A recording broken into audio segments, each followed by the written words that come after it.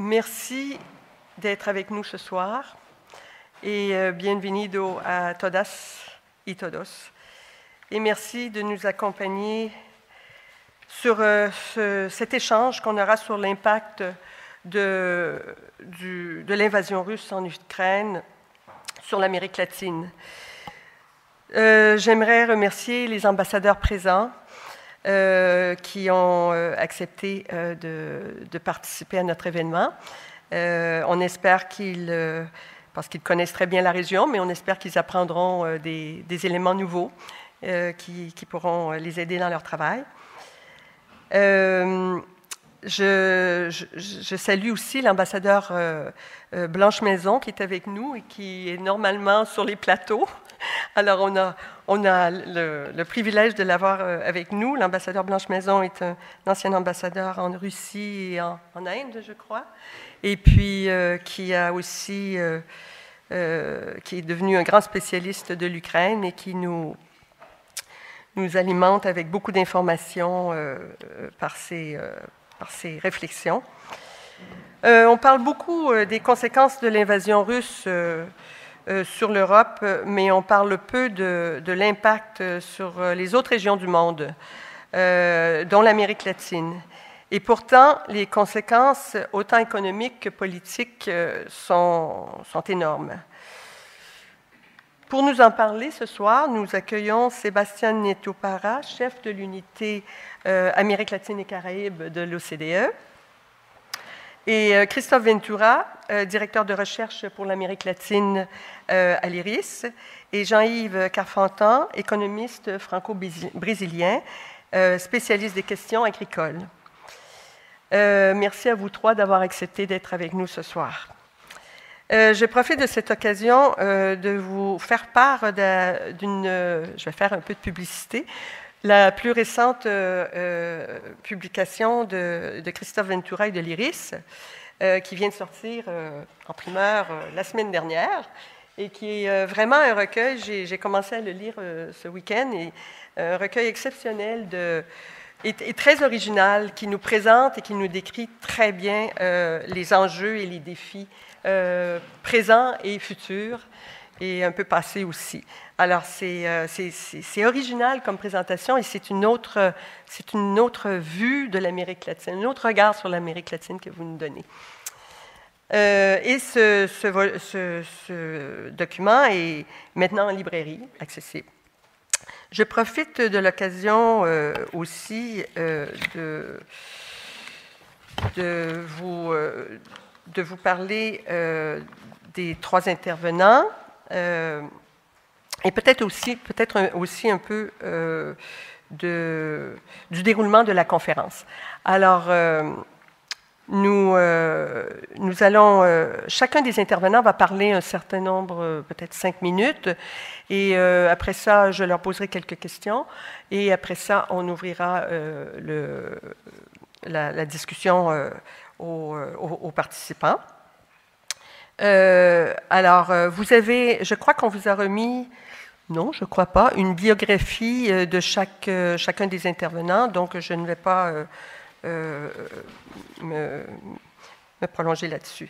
Alors, euh, alors, on va commencer euh, peut-être avec Sébastien, qui va nous, nous, parler plutôt de la, dans son cas, de la situation économique de la région.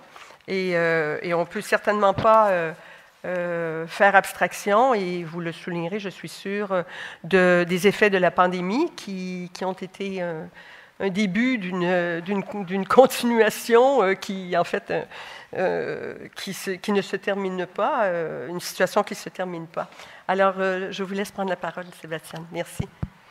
Merci, merci Geneviève, merci à l'Institut France-Amérique pour cette invitation. Donc, bonsoir à toutes et à tous.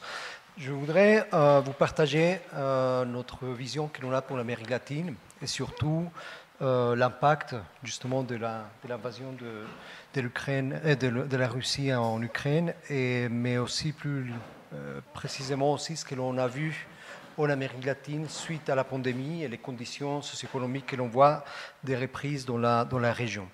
Donc, une grande partie des, des, graphiques et des messages font partie de notre rapport annuel Perspective économique de l'Amérique latine que l'on produit chaque année avec la CAF, la Banque de développement de l'Amérique latine, la Commission euh, économique pour l'Amérique latine de, des Nations Unies, la CEPAL et la Commission européenne. Donc euh, là, c'est des messages que l'on pense euh, justement passer au moment de la COP 27, au moment du lancement du, rapport LEO, comme on le connaît par cet acronyme en anglais.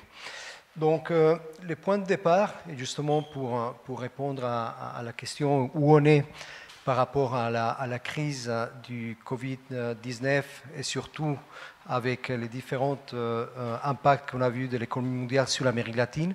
Donc on voit encore une région dans laquelle euh, la croissance est à un niveau très faible et surtout quand on parle des croissances potentielles.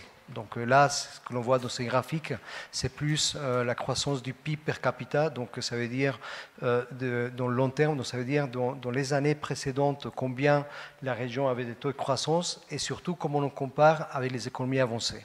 Et on voit que l'on a une croissance très faible de 0,7% euh, pour l'Amérique latine, euh, ça veut dire un point de pourcentage moins élevé de ce qu'on a dans les économies avancées. Donc si on veut réduire les gaps euh, avec les économies avancées, donc on est dans une situation où on doit, on doit sûrement augmenter la, croissance du, du PIB per capita. Et là, on voit derrière ça donc des réformes structurelles très importantes, pas seulement au niveau économique, je voudrais aussi insister sur le fait social, qui donne aussi une croissance plus inclusive et plus de long terme. Sur, justement, euh, sur cette perspective, qu'est-ce que l'on voit euh, sur la, crise euh, en, Russie et, l'invasion de, la Russie en, Ukraine? Donc, on, a, on voit très effets, trois, trois impacts différents sur lesquels sûrement, donc euh, ça va impacter la, croissance euh, euh, dans le moyen terme de l'Amérique latine. On voit déjà pour 2023 une, réduction de la croissance potentielle pour la région et surtout si l'on voit les différents mécanismes d'impact, sûrement l'incertitude et l'impact au niveau social sont très importants. Je vais commencer par tout ce qui est balance des paiements et en particulier les, comptes euh, euh, commerciaux et les comptes courants. Donc, point de départ, bon, l'effet direct, on va dire, la relation entre la Russie et, l'Amérique latine n'est pas euh, très importante. Donc on parle de presque 1% du total des exportations des économies de, l'Amérique du Sud vont en Russie. Donc ce n'est pas un impact direct, mais c'est surtout du point de vue indirect. Cependant, il y a, il y a deux pays que, je voudrais souligner, l'Équateur et le Paraguay, où euh, pour ces deux pays, quand même, les exportations sont plus élevées de 1%. Donc pour le cas de, l'Équateur, euh, c'est presque de 4%, et pour le cas du Paraguay, c'est presque de 8%. Donc c'est des économies quand même où un impact direct, donc il ne faut pas les, oublier. Mais c'est surtout, quand on parle de, l'Amérique euh, latine en général, un impact indirect. Et là, il faut revenir aux, sources des, exportations de l'Amérique latine. Et l'on voit encore aujourd'hui qu'il euh, y a surtout un pourcentage élevé des exportations, soit en matières premières, soit euh, dans des exportations que euh, la valeur ajoutée en technologie est très bas. Et surtout, justement, dépendant soit des, des, prix de l'énergie, mais aussi du prix des aliments. Il y a bien entendu, euh, comme on dit en, espagnol, las Américas latinas, une hétérogénéité assez élevée dans la région. Et justement, on a des économies qui sont plus dépendantes que d'autres euh, en ce qui concerne cette euh, augmentation de, des, des exportations en technologie. Et là où il faut justement en tenir compte, c'est les économies qui sont importatrices nettes d'énergie et on a les économies comme de l'Amérique centrale, des Caraïbes où elles sont vraiment très dépendantes des exportations de l'énergie et surtout l'impact va être plus important de la crise en Russie. De l'autre côté, on a les économies surtout de l'Amérique du Sud où la, dépendance euh, d'exportation est plus importante et c'est une bonne nouvelle. Par exemple, on voit ici le, cas de la Colombie où on a un déficit actuellement de comptes courants et justement avec l'augmentation des prix des matières premières, donc on a une réduction de ce déficit des comptes courants euh, pour la Colombie. Par contre, pour des économies comme les Barbados ou les Panama, c'est plutôt une situation compliquée puisqu'ils sont importateurs nets des matières premières et ils étaient déjà avec un déficit en compte courant. Donc euh, voilà, juste pour résumer sur, le, sur tout ce qui est le compte courant. Maintenant, si on voit, plus sur le, compte capital, donc plus euh, tout ce qui est flux financier, donc euh, on a vu pour l'Amérique latine une, volatilité très importante, non seulement des taux de change, ce qu'on a euh, dans le premier graphique, mais aussi on a vu une augmentation, et là il faut parler à nouveau de l'hétérogénéité en Amérique latine, mais en moyenne on a vu une augmentation euh, du risque euh, de, la dette vue par les investisseurs. Donc ce qu'on connaît par les spreads de, la dette souveraine en Amérique latine. Et là, bien entendu, les deux facteurs dépréciation du taux de change et augmentation du, spread souverain bah, fait que euh, le coût de la dette pour les pays de l'Amérique latine est plus élevé aujourd'hui. Et pourquoi j'insiste surtout en tout ce qui est euh, l'effet sur la dette publique? Parce qu'avec la pandémie, justement, on a vu une augmentation très importante de la dette publique dans les économies euh, d'Amérique latine. En train de parler de 60% du PIB en moyenne pour la, région. Mais je préfère, et on préfère à l'OCDE, parler du ratio de dette sur les revenus, ce qui finalement, c'est la capacité qu'ont les gouvernements à payer cette dette. Et aujourd'hui, on est en train de parler d'un ratio euh, qui est plus élevé de 400%. Donc euh, c'est un ratio très élevé, vu l'augmentation de la dette publique, mais aussi vu le niveau des revenus de l'État, et en particulier de certains États d'Amérique latine, qui, euh, en moyenne, presque de 21% du PIB. Pour les économies de l'OCDE, on est en train de parler de 34% de, euh, du PIB. Donc, euh, certainement, euh, la conjoncture actuelle de volatilité sur le taux de change, sur les spreads souverains, impacte la solvabilité des, États. Et donc, pour que cette dette soit soutenable, on insiste et l'on voit dans certains pays d'Amérique latine euh, des réformes fiscales qui sont en cours. C'est le cas du Chili, c'est le cas de la Colombie, mais d'autres pays sont en train de discuter ça. Et il faut le voir de très près parce qu'il faut bien entendu améliorer les structures euh, des impôts, il faut augmenter la progressivité des impôts, mais en même temps, il faut favoriser euh, l'investissement et la création des entreprises. Donc euh, voilà dans le dilemma où on a actuellement au niveau fiscal en Amérique latine et avec une volatilité sur euh, les coûts de, la dette. Euh, dernier point, plus au niveau indirect et en ce qui concerne les pressions sur l'inflation. Donc aujourd'hui, comme je disais tout à l'heure, donc on a vu une augmentation très importante des prix de l'énergie, mais aussi de certains aliments. Et ce que l'on a vu euh, dans pratiquement tous les pays d'Amérique latine, c'est que le taux d'inflation est aujourd'hui vraiment au-dessus de euh, la limite supérieure de l'inflation objective euh, des, des, banques centrales. Donc là, on est en train de parler des banques centrales qui ont une politique d'inflation objective.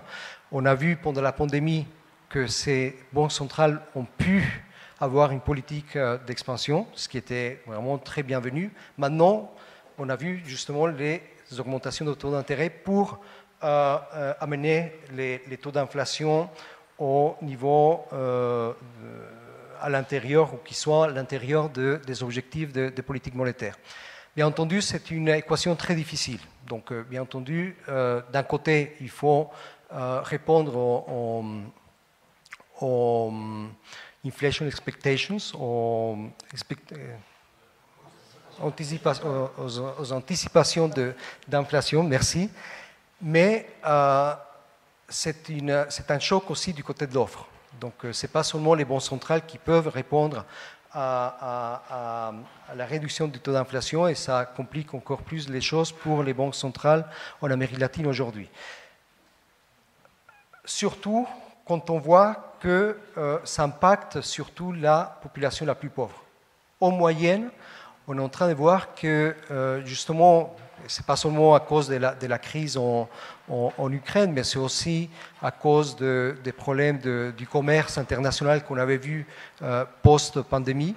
On a vu que ces, pressions sur les prix impactent de plus de 3 points pourcentage la population la plus pauvre par rapport à la population totale en Amérique latine. Donc ça veut dire si par exemple le taux d'inflation est aujourd'hui dans une économie de l'Amérique latine aux alentours de 10%, les taux d'inflation des plus pauvres est de 13% ou plus. Donc euh, là, on voit justement dans certains pays de l'Amérique latine comment euh, les taux d'inflation impactent euh, de façon significative la, population la plus pauvre. C'est le cas de la Colombie, c'est le cas du Costa Rica, du Guatemala, du Mexique ou du Pérou, où ça impacte vraiment cette population vulnérable. Et c'est là où euh, plus que jamais, il faut savoir de quelle façon on répond à ces augmentations des prix.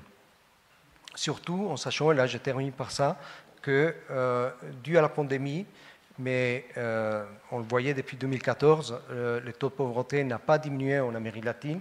Il a certes augmenté avec la pandémie. On est en train de parler que presque d'une personne sur trois en Amérique latine est dans la pauvreté aujourd'hui. Donc il faut en tenir compte que ces effets des prix Bien entendu, ça affecte la stabilité économique, bien entendu, ça affecte euh, l'entrepreneuriat dans la région, mais aussi ça affecte les classes les plus euh, vulnérables. Donc euh, voilà pour un, aperçu de, la situation en Amérique latine très rapide. Merci Sébastien. Vous avez dit que, les, pays auront des défis à, gérer leur, leur, dette publique. Euh, est-ce qu'on on pourrait voir euh, une opportunité peut-être pour la Chine de, venir au secours et d'offrir de, des prêts euh, à certains États fragilisés pour des projets d'infrastructure, par exemple. si, si, la croissance est reliée euh, aux, investissements euh, extérieurs euh, aux investissements étrangers, je suppose que la Chine, malgré ses propres difficultés, continue de s'intéresser étroitement à, l'Amérique latine, comme elle l'a fait depuis les dix dernières années. et peut-être une autre petite question, ce serait le FMI a des arrangements avec plusieurs euh, pays actuellement, euh, dont l'Argentine, hein, qui est le cas peut-être le plus emblématique. Euh, quelle est la réaction du FMI vis-à-vis cet affaiblissement dramatique de la croissance et cet appauvrissement de plusieurs des pays suite aux, deux crises? Bon, sur, sur la Chine, et plus, euh, de façon générale, ce qu'on insiste et, on, voit important pour la reprise, c'est quel type d'investissement il en faut. Et là, euh, on a vu euh, qu'avec la crise en, Ukraine, avec l'effet de la pandémie qu'on a sur l'Amérique latine, et surtout les différents accords qu'on a au niveau environnemental, il faut penser à quel type d'investissement vert il faut dans la région.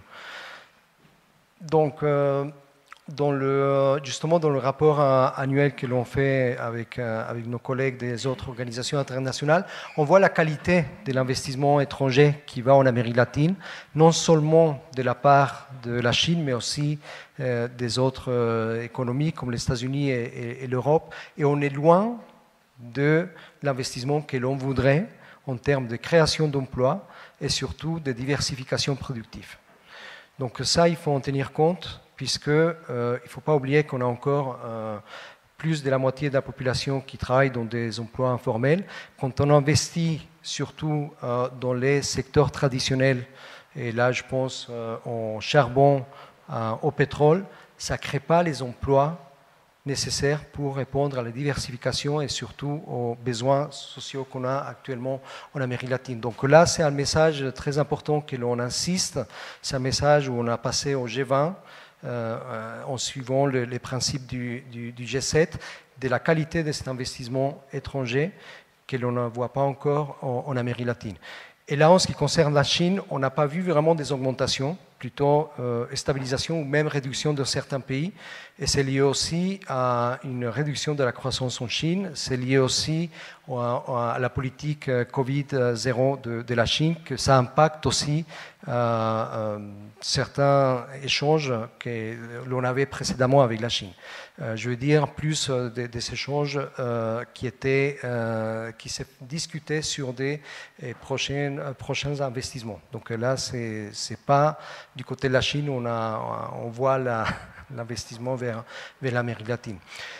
En ce qui concerne l'FMI, je pense qu'on est de plus en plus euh, en accord avec euh, les messages du FMI, euh, des, différentes banques multilatérales. Et là, il y a justement un message très important, c'est quel type de politique on a pour les économies à moyen revenu. Donc, euh, certes, l'aide était destinée aux économies à bas revenus pendant la crise du Covid-19. Et actuellement, euh, un des messages, mais que l'on partage avec le staff du, FMI, maintenant c'est convaincre les, stakeholders du, FMI, c'est de, quelle façon il faut euh, toute une politique d'aide à la dette aux économies à, revenus moyens et en particulier aux économies des Caraïbes. Donc là, il y a encore un, message assez important puisque euh, l'on sait que euh, une dette, euh, les détenteurs de, dettes, ce n'est pas seulement les, créditeurs privés, mais aussi publics. Et là, il y a tout un effet des, des, coordinations qu'il reste encore à suivre sur la place internationale des, marchés de capitaux. Donc, euh, créditeurs publics pour tout ce qui est les économies d'Amérique centrale et Caraïbes, détenteurs privés pour euh, les pays d'Amérique du Sud. Et là, je pense qu'avec en tout cas, avec les discussions qu'on a avec le staff, on est tout à fait d'accord de comment encore améliorer tout ce qui est euh, l'aide euh, euh, aux pays les plus endettés. Là, je pense bien entendu l'économie des, Caraïbes et certains pays d'Amérique du Sud, on, connaît bien les, noms. Merci Sébastien. Alors peut-être qu'on pourrait passer à Christophe. Je pourrais vous inviter à à nous parler, nous donner votre perspective euh, euh, sous un angle plutôt euh, politique et vos, récentes observations sur le sujet. Merci Geneviève, merci Sébastien. Bah, je vais repartir un peu ou rebondir à partir de certaines analyses qui ont été proposées par Sébastien. Bon, je crois que la question qui nous intéresse ce soir, de savoir quel est l'impact euh, de l'invasion russe en Ukraine, en Amérique latine, on doit comprendre qu'elle s'inscrit dans une question un peu plus large, qui est effectivement d'abord euh, l'impact économique qui a été euh, décrit par Sébastien et qui vient comme un effet cumulatif avec deux autres grands, disons, chocs qui ont frappé la région depuis maintenant bah, plus de dix ans. Ces deux chocs étant bien sûr les conséquences de long terme euh, sur le plan économique, mais surtout sur le plan social, de euh, la crise financière internationale de 2008, qui, je le rappelle tout le temps, a fait qu'on arrivé au moment de la pandémie en Amérique latine avec une région qui a vécu une décennie noire sur le plan économique, avec déjà des récessions importantes, etc., qui faisait dire à la CEPAL déjà en 2019, donc la Commission économique pour l'Amérique latine, que la région connaissait sa pire situation économique depuis l'après-guerre. Ça, c'était avant le Covid. Puis le Covid est arrivé et on est sorti du Covid sur le même terrain avec c'est la pire crise de l'histoire de l'Amérique latine hein, du point de vue économique. Donc voilà dans quel contexte s'inscrit la question qui nous intéresse ce soir sur le plan économique. Et bon, Sébastien nous a montré les tendances, malheureusement, qui sont pas très, euh, euh, joyeuse, pas très optimiste pour la région, euh, étant donné en plus que, indépendamment de l'importation, pardon, de l'inflation importée, etc., etc., la question, par exemple, de la restriction des, politiques monétaires internationales, du financement des États et de leurs dettes, est une question qui devient vitale hein, pour les pays latino-américains, parce que dans les conditions actuelles, avec les resserrements monétaires internationaux, etc., ça devient quasiment impossible pour ces pays de, faire ce qu'on leur demande, c'est-à-dire de, relancer leur, euh, économie. Hein. Donc ça, c'est un problème absolument euh, fondamental qui à mon avis, partie de euh, l'impact de, cette guerre en Ukraine dans, la région. Pour certains pays, c'est une catastrophe. Sébastien a dit aussi, je pense à l'Équateur, au Panama, dont on a vu au mois de juillet des choses inhabituelles. On a vu au Panama des, des, mouvements insurrectionnels, des mouvements de contestation sociale assez inhabituels dans ce pays qu'on ne connaît pas pour ça. Bah, ça, c'était directement lié aussi à ce qu'on vient de dire sur l'inflation importée, euh, à la fois dans, le circuit de consommation local, mais aussi, euh, et ça ça vaut pour le Brésil, ça vaut pour l'Équateur et d'autres pays, euh, dans les, intrants, c'est-à-dire les, matières premières que ces pays importent essentiellement de Russie pour l'agriculture par exemple, les fertilisants, etc., qui sont, disons, directement impactés dans les coûts de production hein, de l'agriculture des pays que je viens de citer, et donc les prix augmentent au départ, et, etc., etc. Bon, ça c'est un premier paquet. Alors moi, je vais un peu plus à partir de ça euh, essayer de comprendre un peu les, conséquences politiques que ça peut avoir euh, dans la région. Bon, d'abord, euh, commencer peut-être par rappeler quelques rudiments de, la relation, finalement, surtout de la Russie avec l'Amérique latine, bah, sujet auquel je consacre d'ailleurs un chapitre dans le petit bouquin dont vous a parlé Geneviève. bon, c'est pas des relations nouvelles. Les relations entre la Russie et l'Amérique latine sont de vieilles relations. Hein. Si on remonte même à l'époque du tsar, en 1828, bah, y a la reconnaissance du Brésil et vice-versa.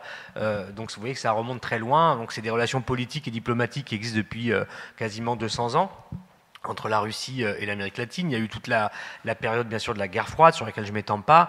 Un gros trou euh, après 1991, jusqu'à l'arrivée du dénommé Vladimir Poutine, qui, à partir du début des années 2000, va à travers une succession de voyages, euh, d'aller-retour en Amérique latine, un peu partout d'ailleurs, hein, pas que à Cuba, que au Nicaragua ou que au Venezuela, un peu partout, ainsi que son ministre Lavrov et vice-versa, beaucoup de dirigeants latino-américains ce qu'on appelle le cycle des gauches en Amérique latine c'est là que ça s'est beaucoup reconstruit, la relation avec la Russie. Alors, Sébastien l'a dit, il ne faut pas euh, avoir une impression démesurée du rapport économique entre la Russie et l'Amérique latine. C'est quand même assez petit. Hein.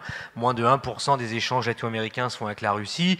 C'est vraiment pas grand-chose, sauf pour quelques pays. Mais dans certains secteurs, dans certains secteurs, c'est significatif. Je pense à l'aéronautique, je pense aux infrastructures, je pense bien sûr à l'armement. Euh, pour en tout cas Venezuela, Cuba, et Nicaragua. Euh, je pense, euh, dans l'agriculture, je l'ai dit, à tout ce qui est énergie et, mine. Hein, dans ces secteurs-là, il y a des coopérations assez pointues qui se traduisent, pour que vous ayez un ordre de grandeur, que depuis le début des années 2000, et encore une fois, tout pays politiquement, euh, j'entends, quelle que soit la couleur des pays, c'est des centaines et des centaines d'accords de coopération qui ont été signés entre la Russie et une multitude de pays latino-américains dans lesquels la Russie a une représentation diplomatique. Hein.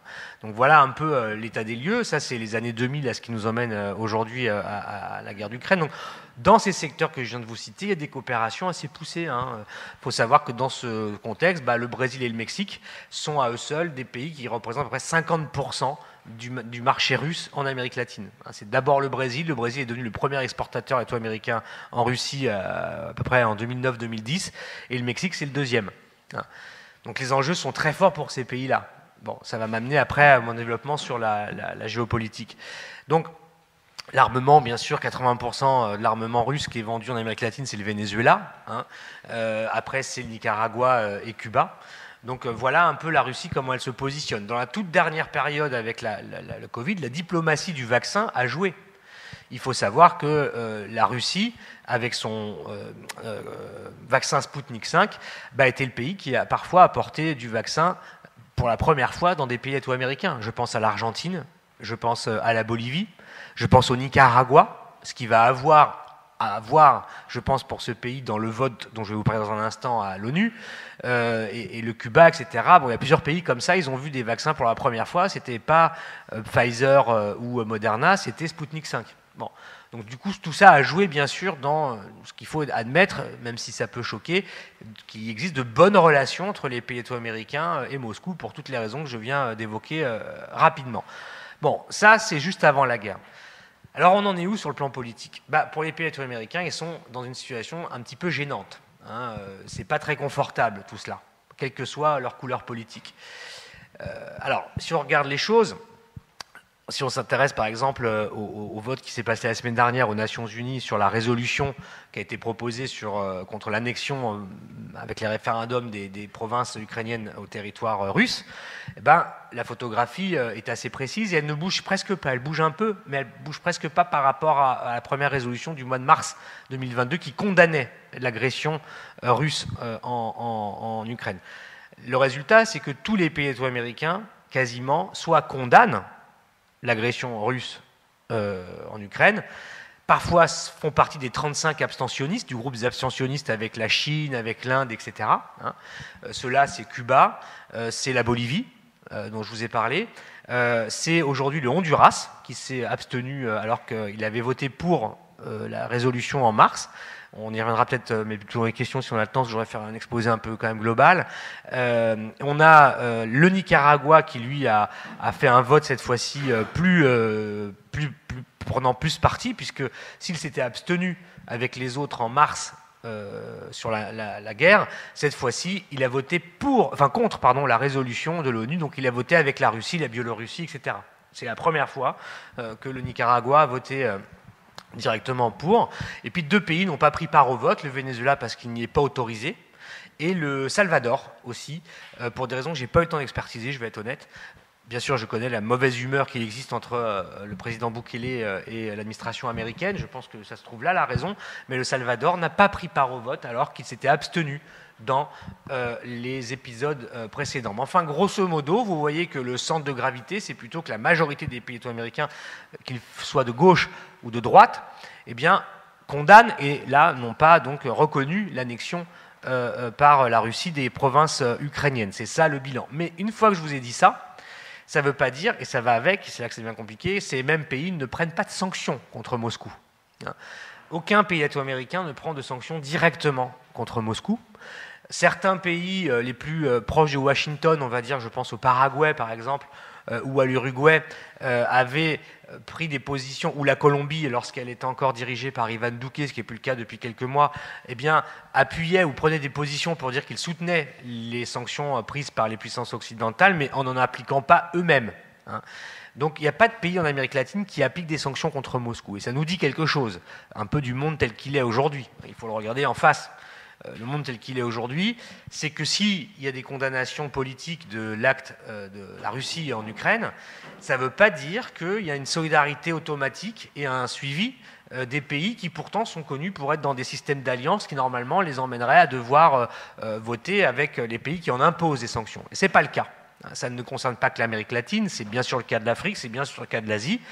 Il faut voir derrière ça, chaque pays demanderait une expertise euh, précise que je n'ai pas avoir le temps de faire là, mais ça nous dit justement, euh, si vous voulez, la difficulté pour des pays américains qui à la fois ont de bonnes relations avec Moscou, sur le plan politique, sur le plan diplomatique, sur le plan commercial et économique, pour certains d'entre eux c'est même vital, je pense au Brésil, des pays euh, qui, par l'histoire, n'ont plus, disons, un réflexe de solidarité avec Washington et les Européens, qui considèrent que parfois ces puissances eh bien, peuvent pratiquer même la politique du double standard dans les conflits internationaux, euh, qui peuvent parfois condamner et sanctionner lourdement euh, la Russie, mais qui parfois peuvent avoir oublié de le faire lorsque c'était eux qui étaient, euh, disons, en action en Irak, en Libye ou ailleurs. Donc il y a une défiance, il y a une rupture de confiance, et donc il n'y a plus de solidarité systématique des pays du Sud avec les Américains et Nord-Américains et avec les Européens. Donc ça, c'est un autre enseignement de, de ce vote.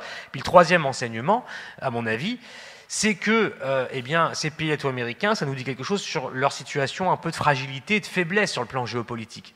Pourquoi? Parce qu'aujourd'hui, en 2022, avec ce conflit, eh bien, qui peuvent leur paraître à eux assez loin, parce que ça ne se passe pas chez eux, eh bien, euh, malgré tout, en fait, ils sont un petit peu, euh, j'ai envie de dire, écartelés dans des relations à trois enfin à quatre, c'est-à-dire eux, chaque pays pris euh, individuellement en Amérique latine, et des relations aujourd'hui économiques, commerciales et politiques qui se jouent entre trois partenaires, qui sont Washington, Pékin, enfin même je dirais plutôt aujourd'hui dans, l'ordre inverse, plutôt Pékin et Washington, et sur certains aspects que je vous ai un petit peu rapidement évoqués, Moscou.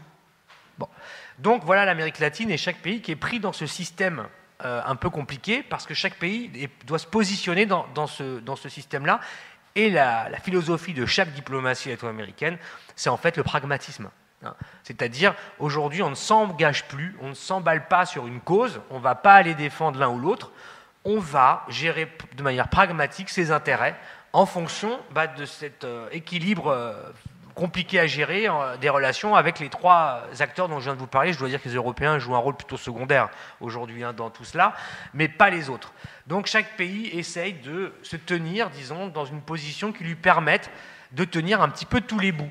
Hein, de voter, euh, bien sûr, pour voter des principes et condamner euh, ce qui se passe, mais en même temps pas appliquer de sanctions. Pourquoi? Parce qu'évidemment, ces sanctions, elles ont un prix pour ces pays latino-américains, dans le contexte qu'on a évoqué. Le prix des sanctions est très lourd il s'ajoute à celui de l'inflation, il s'ajoute à ce qu'on a dit. Pour les pays américains, ça veut dire plus d'accès à ces marchés, ça veut dire des remboursements d'exportations qui ont déjà été faites avant la guerre, qui ne reverront pas. Ça veut dire ça. Ça veut dire des transferts SWIFT qui sont euh, maintenant fermés. Ça veut dire des pièces euh, dans l'aéronautique ou dans certaines infrastructures qui peuvent plus être euh, maintenues, etc., etc., etc. Et ça veut dire l'inflation qui paye déjà. Donc les États américains se disent, vu qu'ils ont déjà, disons, la langue par terre du point de vue économique, sur une expression pour me faire comprendre, ils disent bah, on ne va pas en plus euh, payer euh, trop, enfin, encore plus vos décisions à vous, euh, Européens, sur lesquelles vous nous avez, et Américains, sur lesquelles on n'a pas été vraiment consultés non plus. Bon. Donc voilà un petit peu la, carte politique compliquée qu'il faut comprendre pour saisir le positionnement de chaque pays latino-américain, me semble-t-il. J'ai parlé du cas du Nicaragua, qui est celui aujourd'hui qui, lui, bah, se solidarise de fait avec Moscou, désormais. Ça, c'est par contre nouveau. On pourra en parler. Et donc, pour conclure, euh, eh bien, je, dirais que euh, tout ça nous dit aussi la fragilité d'une Amérique latine qui est par ailleurs euh, pas existante en termes de voix commune.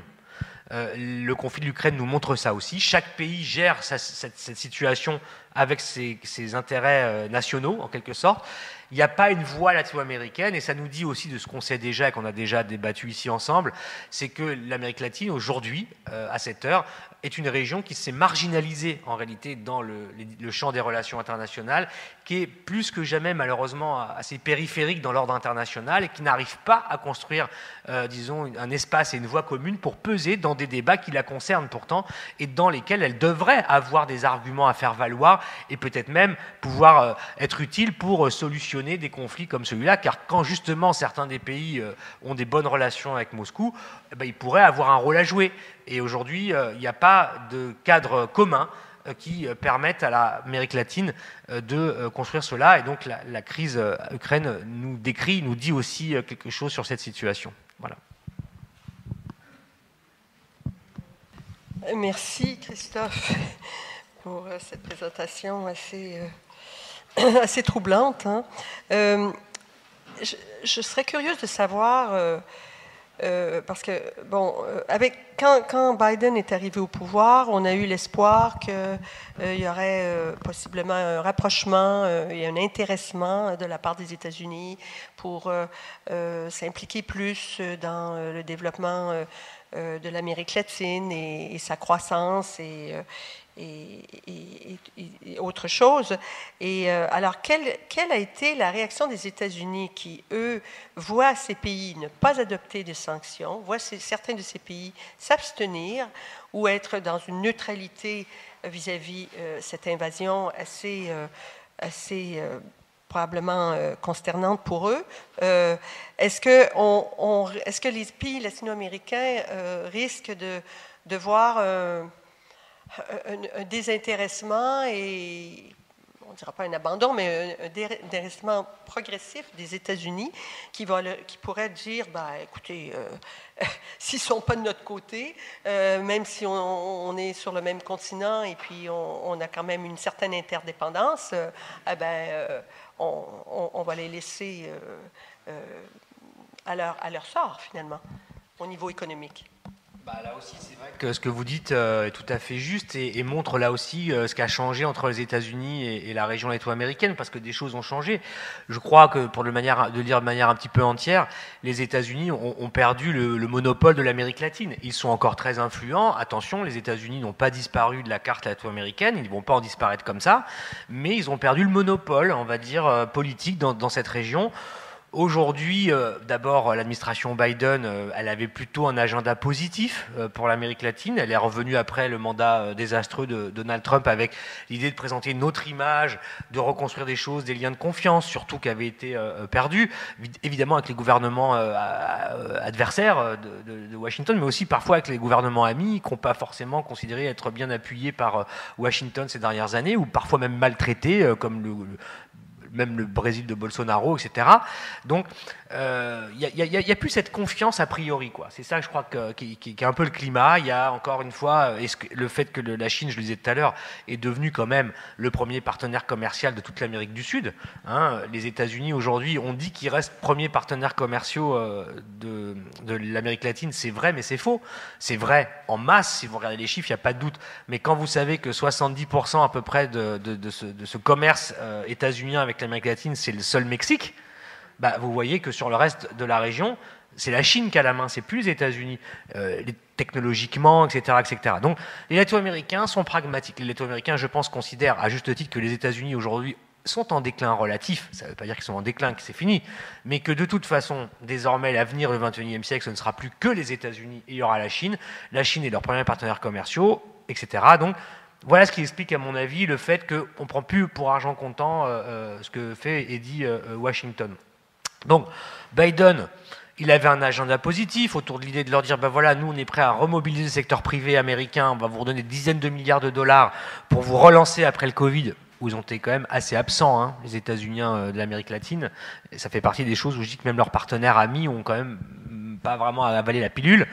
Et euh, on va revenir avec la, Banque interaméricaine de développement, on va faire plein de choses avec le secteur privé, on va même refaire du nearshoring, euh, c'est-à-dire euh, ce qu'on va enlever de la Chine, on va le mettre en Amérique latine, au Mexique, etc. On va faire tout ça. Mais il y a quelques conditions. Les conditions, c'est que justement, vous arrêtiez vos copinages avec les Chinois, en, matière commerciale, technologique, etc. Mais les, les Latino-Américains n'obtempèrent plus. Voilà. Donc ça s'est un peu resté comme ça. Et puis euh, Joe Biden, son problème, c'est d'abord les États-Unis. Et la situation intérieure américaine est tellement grave, on ne le dit pas assez, je veux dire, c'est un pays qui est tellement fracturé, qui est tellement quasiment en situation d'explosion interne, qu'il est pris trop par tout ça, il peut rien imposer euh, ou avoir vraiment une politique active en Amérique latine. Et puis, comme tous les présidents avant lui et après lui, bah, une fois qu'il a été élu, il attend les midterms qui vont arriver en novembre pour voir la photo du Congrès et la Floride. Voilà. Et selon tout ça, soit il accélère, soit il freine pour les pays américains dans ces conditions-là. Donc je pense que les États-Unis euh, aujourd'hui ne peuvent plus avoir un leadership et euh, même pas avoir vraiment les moyens des ambitions qu'ils se donnent euh, pour remettre la région là où elle doit être, parce que vous avez compris qu'elle est vraiment très bas. Une perspective un peu un peu triste. Et puis, on est loin du euh, FTAA et tous les autres accords euh, qui devaient faire euh, des Amériques une grande association économique. Et, et voilà, c'est un peu triste. Alors, euh, monsieur, merci hein, Christophe. Monsieur Carfantin, vous allez nous parler un peu, euh, étant spécialiste du Brésil euh, et économiste dans le secteur agricole, vous allez nous parler, donner un peu votre perspective sur ce qui se passe plus particulièrement au Brésil. Merci. Alors, merci d'abord pour votre invitation. Je suis en séjour forcé en France pour quelques mois. Et je suis brésilien par option. Ça peut paraître un peu euh, délirant, mais euh, c'est la raison pour laquelle je dirais souvent nous. Euh, parce que, en général, les, convertis tardifs sont, sont plus fanatiques que les, que les, convertis de naissance, si j'ose dire. je vais vous parler de l'agriculture parce que c'est dans le domaine agricole que j'ai traîné mes bottes depuis à peu près 35 ans, au Brésil. Je ne prétends pas être spécialiste du Brésil, il paraît que même Dieu n'a pas cette audace. Euh, je, vais essentiellement insister sur deux effets qui sont à peu près mesurables, c'est-à-dire comme l'a dit Sébastien, comme l'a dit Christophe, on est dans une dynamique de plusieurs années où la plupart des pays du continent euh, en prenaient plein la figure. Donc la, difficulté supplémentaire créée par la guerre européenne vient s'ajouter à un tableau qui était déjà compliqué. Et en particulier, le tableau qui était déjà compliqué, c'était une tendance à la hausse des combustibles fossiles depuis pratiquement euh, la fin du premier épisode du Covid dans les pays occidentaux et en Chine, euh, c'est-à-dire autour de euh, la fin 2020, début 2021. Au Brésil, c'est particulièrement important parce que jusqu'à la fin 2021, il y a un effet en plus dollar, c'est-à-dire que la monnaie brésilienne se déprécie, ce qui fait que tous les produits importés sont un peu plus chers qu'ils ne devraient l'être. Donc, la montée des prix des combustibles fossiles, en particulier du gaz, du gaz naturel, qui est déterminant pour le prix d'un certain nombre d'intrants agricoles, notamment les engrais, ce qu'on appelle les engrais azotés, puisque euh, les engrais azotés, c'est un dérivé de l'ammoniac qui est elle-même un dérivé du traitement des gaz naturels. Je ferai quelques apartés un peu techniques, mais ce n'est pas très compliqué. Euh, donc augmentation du prix des combustibles fossiles. Le Brésil, paradoxalement, est le premier pays producteur de pétrole brut de l'Amérique latine aujourd'hui. Mais c'est aussi un pays importateur de dérivés du pétrole et de gaz. Dérivés du pétrole parce que des choix industriels n'ont pas été faits qui auraient permis une plus grande autonomie. Et pour viabiliser une activité d'importateur, eh il faut que les prix sur le marché intérieur brésilien soient euh, en syntonie avec les prix sur le marché international. Donc à chaque fois que le prix du pétrole augmente, à chaque fois que le prix de l'essence augmente, à chaque fois que le prix du diesel augmente, le diesel c'est un produit qui est une variable politique clé au Brésil, dans un pays où 60% du transport intérieur, je le rappelle, Peut-être s'il y a des Français parmi vous qui n'ont pas tout à fait la géographie en tête, un continent entre les grands bassins agricoles brésiliens et les grands centres de consommation ou les ports d'exportation, les distances se calculent parfois en milliers de kilomètres entre le cœur de l'État du Mato Grosso, qui est un des grands bassins de production de grains du monde aujourd'hui, et les ports brésiliens d'exportation qui acheminent les produits comme le soja vers la Chine, il y a 2300 kilomètres et 2300 km par camion, 35% du coût du transport, c'est du diesel. Le prix du diesel au Brésil, il a augmenté de 240% en monnaie nationale entre le début de 2020 et septembre 2022. 57% en cumul sur les seuls premiers neuf mois de l'année 2022. Ça veut dire que ça, ça a un effet immédiat sur les prix des produits alimentaires au stade de la consommation. Les prix des produits alimentaires augmentent, d'abord parce que le transport devient de plus en plus onéreux, transport intérieur, à cause de l'évolution des prix des carburants. Et on pourrait ajouter à ça que les prix du gaz aussi augmentent, et le gaz, c'est sous la forme de bouteilles de gaz, 13 kg, le principal combustible utilisé par les ménages les plus pauvres pour préparer leur alimentation. Ça joue aussi. Le deuxième vecteur qui entraîne une augmentation des prix des produits alimentaires, c'est l'évolution des prix internationaux, notamment avec la crise russe-Ukraine, des céréales. L'Ukraine et la Russie, faut-il le rappeler, sont des grands producteurs, la Russie notamment de blé. Le Brésil est un pays qui a été colonisé, dit-on, par le Portugal. Moi, j'habite à São Paulo et on a l'impression qu'on a été colonisé par les Italiens. C'est-à-dire que la cuisine de base, c'est certes un peu de production locale, mais c'est surtout beaucoup des pizzas, des pâtes, etc. Et le Brésil, malheureusement, ne produit que la moitié du blé qu'il consomme. Donc le prix du blé entraîne automatiquement un renchérissement aussi. Le prix du blé mondial entraîne un renchérissement des prix des, produits alimentaires intérieurs. Tous les produits qui sont exportés euh, ont vu euh, leur cotation augmenter, notamment le maïs, le Brésil est un gros producteur et exportateur. Le soja, le, Brésil est en train de devenir le premier, ou déjà est le premier producteur de soja dans le monde, gros fournisseur de la Chine. Euh, tout ça a joué sur l'évolution des, prix alimentaires intérieurs, avec en plus l'effet de dollar, en tout cas jusqu'en début 2022. Ce que je voudrais pointer ici, c'est un autre aspect. Le Brésil est un grand producteur agricole, le quatrième exportateur mondial de produits agricoles, derrière les États-Unis, la Chine, etc. Mais c'est un pays qui, pour des raisons géologiques, Dieu n'est pas parfait, euh, pour des raisons de choix industriels, euh, ne produit qu'une très faible part des engrais qu'il a besoin de mettre dans son sol pour que les plantes poussent. Pour qu'une plante pousse, excusez-moi s'il y a des acronomes dans la salle, ils vont trouver ça un peu bébête, mais il faut le dire, il faut de l'azote, il faut du phosphore et il faut de la potasse. C'est ce qu'on appelle dans le jargon les formulations NPK chez les chimistes. N l'azote, P le phosphore, K la potasse. Le Brésil produit euh, de l'ordre de 24% de l'azote dont il a besoin. Le reste, il l'importe essentiellement de pays comme la Chine, l'Europe centrale, la Russie et euh, les États-Unis.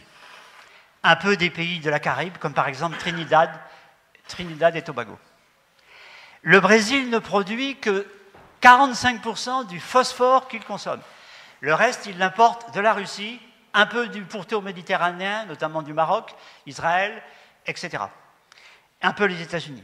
Le Brésil ne produit que 94% de la potasse qu'il utilise pour fertiliser ses sols. On ne peut pas faire pousser du soja, du coton, du sucre, de la canne à sucre sans mettre de la potasse dans le sol. Les sols brésiliens sont des sols d'une fertilité naturelle très, très faible. Ce n'est pas l'Argentine, pas du tout. Donc il faut importer. Et la Russie est un des premiers fournisseurs. 30% de la fourniture de potasse vient de Russie. Il y a trois pays dans le monde qui sont capables de fournir de la potasse en grande quantité. Le Canada, il y a une province au Canada qui s'appelle le Saskatchewan, excusez-moi la prononciation, qui est un immense gisement de potasse. La Russie et la Biélorussie. Les autres pays fournisseurs, si vous regardez par exemple les exportations du Chili, ce n'est pas grand-chose. En tout cas, ça ne peut pas substituer les apports de pays comme la Russie ou comme le Canada. Donc cette dépendance est très forte pour le Brésil. Quand le conflit a éclaté, immédiatement, la réaction de tous les acteurs du monde agricole brésilien, ça a été de dire on va manquer de produits. Le 24 février, la Russie, c'est le 24, hein, envahit une partie de l'Ukraine. Le 25, 26, 27 ont commencé au Brésil à semer la récolte d'hiver, parce qu'on fait deux récoltes par an minimum. Il y a des régions on en fait trois. Donc on sème euh, à partir du mois de février-mars, avril, selon les régions, et on va récolter quelques mois plus tard. En général, c'est fini autour du mois d'août. Donc, grosse panique, les prix montent dans des proportions considérables. Pour vous donner un ordre d'idée, lorsqu'on payait 1000 reais brésiliens la tonne d'un fertilisant en début 2020, on la paye aujourd'hui 5250 reais en septembre. Donc il y a eu une flambée des prix. Mais ça n'a pas joué sur les premiers mois de 2022, parce que les contrats étaient déjà signés. Ce qui a été problématique, c'est est-ce que les bateaux vont pouvoir arriver? Le gouvernement a pris l'enjeu euh, vraiment à bras le corps.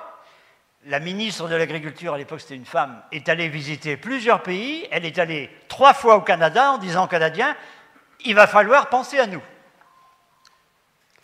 Et donc le Canada a augmenté un peu ses livraisons de potasse. Il y a eu des livraisons à partir de pays d'Europe centrale. Il y a eu une diversification des importations à partir de différents pays souvent avec lesquels le, Brésil n'avait pas beaucoup de relations. Par exemple, on importe aujourd'hui du nitrate d'ammonium. Le nitrate d'ammonium, c'est un produit extrêmement important, non seulement pour l'agriculture, mais aussi pour l'armement. C'est un engrais euh, hautement explosif. On importe du nitrate d'ammonium maintenant, au lieu de la Russie, du Nigeria et d'Oman. Donc on a diversifié pour éviter la panique. Pas de problème donc pour l'agriculture brésilienne sur la récolte d'hiver. Les gens ont été livrés, la consommation a un peu baissé parce que les prix étaient trop élevés, que certains agriculteurs ont abandonné la partie. Ça veut dire que si cette dynamique continue dans l'avenir, on peut avoir des agriculteurs qui ne pourront pas affronter les prix des engrais et, qui devront renoncer à semer ou semer moins ou semer ou planter dans des mauvaises conditions avec à l'issue, à la sortie, des mauvais rendements. Le problème a commencé à se poser à partir du mois de juin. Le Brésil, comme ça a été dit, n'applique pas les sanctions économiques. Mais le commerce entre le Brésil et la Russie dans le domaine anglais, c'est quelque chose de relativement compliqué. Il faut que des propriétaires de bateaux, on appelle ça des affréteurs, acheminent des bateaux vers les ports russes. Et pour qu'un bateau circule d'un continent à l'autre, il faut qu'il soit assuré. En général, les compagnies d'assurance, elles ne sont pas russes. Elles sont plutôt occidentales, elles peuvent être suisses, elles peuvent être britanniques, elles peuvent être américaines. Et les assureurs ont commencé à dire, nous, on va éventuellement continuer à assurer quelques chargements, mais il faudra payer plus cher, parce qu'il y a un risque quand même. Si on charge des bateaux sur les rares ports de la mer Noire qui, continuent encore à être utilisés, ce n'est pas la même chose que de charger un yacht de, de loisirs sur le port de Saint-Tropez. Donc, on augmente les tarifs. Les loueurs de bateaux ont augmenté considérablement les frettes, les taux de fret. Je te loue mon bateau, mais si tu l'achemines vers le port de Mourmansk ou vers un port de la mer Noire, ça va coûter un peu plus cher que le marché. Les banques internationales qui fournissent les crédits pour que ces opérations de commerce aient lieu, qui prêtent de l'argent aux acheteurs, aux importateurs brésiliens, c'est très important ça parce que euh, si vous empruntez de l'argent au Brésil pour faire du commerce international, ça va vous éliminer toute rentabilité à votre opération, vu le niveau des taux d'intérêt pratiqués par les banques brésiliennes. Il faut emprunter auprès de banques extérieures au Brésil. Les banques suisses sont imbattables. Les banques suisses ont été les premières à dire nous, on ne prête plus pour couvrir des opérations de, de transfert d'engrais. À partir du mois de juin, ça a été fini. Donc il y a encore eu des contrats qui ont été honorés. On arrive maintenant au mois de septembre-octobre. En ce moment, on est en train de semer la récolte d'été, c'est-à-dire ce qui va être récolté au mois de fin janvier, février, mars, début avril, en fonction des régions. La question n'est pas tellement s'il y aura assez d'engrais, parce que on a été très précautionneux, ce n'est pas du tout dans le genre de comportement des Brésiliens, mais ils ont beaucoup anticipé. Ils ont multiplié les commandes avant le mois d'août. Ce qui fait que maintenant, les stocks sont pleins. On est même devenu, ces dernières semaines, réexportateur d'engrais vers certains pays de, de la région. Mais si la situation continue, si la guerre s'amplifie, si la guerre s'aggrave, et que la Russie est définitivement hors jeu sur ce marché, qu'est-ce qui peut se passer?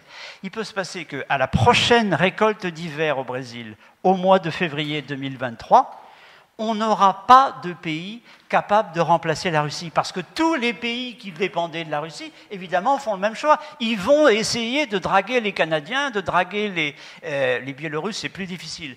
Mais de, draguer en tout cas des pays qui sont alternatifs. Il y a un peu de potasse en Bulgarie, on a acheté de la potasse au Chili.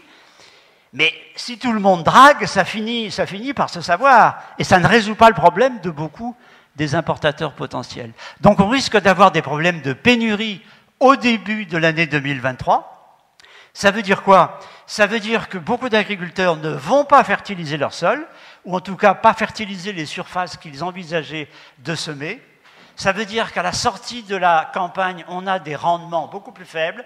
Ça veut dire que le Brésil, sur des produits clés comme le soja, sur des produits comme le maïs, sur des produits comme la canne à sucre, sur des produits comme le coton, sur des produits, et je pourrais allonger la liste, ne sera pas au rendez-vous fournira sur le marché international et sur le marché intérieur une offre très inférieure à ce qu'il a pu fournir jusqu'à présent. Cette année, il n'y a pas de problème, on a 300 millions de tonnes de grains récoltés.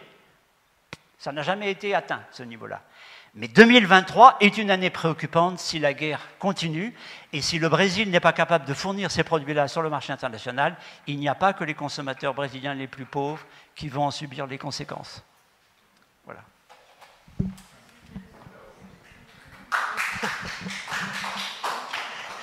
Très intéressant, M. Carpenter, vraiment. On apprend beaucoup, c'est une réalité dont on parle peu, hein, dont on parle peu. Maintenant, euh, euh, ces difficultés affectent sûrement, euh, et, vous l'avez dit au début de votre présentation, affectent les consommateurs. Alors, comment le gouvernement brésilien actuel a-t-il, au cours des dernières, euh, des dernières semaines ou des derniers mois a-t-il pu composer avec ce problème de cette inflation extrême et puis de cet appauvrissement de la, de la population? Est-ce qu'il y a eu des, des mesures spéciales mises sur place pour composer avec le problème? Alors, la, grande particularité du Brésil, et c'est quelque chose de très positif, ça remonte ça aux années euh, début 2000, à l'époque du premier gouvernement du président Lula da Silva. On a mis en place au Brésil ce qu'on appelle un cadastre unique, c'est-à-dire un système de recensement de tous les gens qui appartiennent à des catégories ayant des revenus très faibles quelle que soit l'origine des revenus. C'est-à-dire que vous êtes euh, petit commerçant dans la rue, dans l'informalité totale, vous êtes euh, ouvrier mal payé dans une usine métallurgique, ça ne rentre pas en ligne de compte. Donc on a, une photographie assez précise, euh, une, information statistique assez précise et des données sur qui peut être frappé par ce genre d'événement. Ça veut dire que dès l'année 2020, avec le Covid, il y a eu un programme qui a été mis en place qu'on a appelé euh, l'aide d'urgence, euh, qui a fourni un revenu non conditionnel, une allocation mensuelle à toutes les familles qui appartenaient à cette catégorie que je viens d'évoquer. Et ça, représentait parfois, parce que souvent dans les milieux populaires très pauvres, les familles, c'est plus que le noyau monoparental. Il y a le grand-père qui vit avec euh, les, enfants parce que le grand-père, c'est intéressant, il apporte une retraite, et la retraite, c'est à peu près régulier. Donc, euh, pour des cellules familiales moyennes, ça représentait un apport de revenus substantiel, d'autant plus qu'il y avait des politiques de confinement euh, qui paralysaient toute l'activité, notamment pour beaucoup de gens qui sont dans l'économie informelle. Donc ça ça, a été mis en place à cette époque-là, et ça a continué jusqu'à aujourd'hui.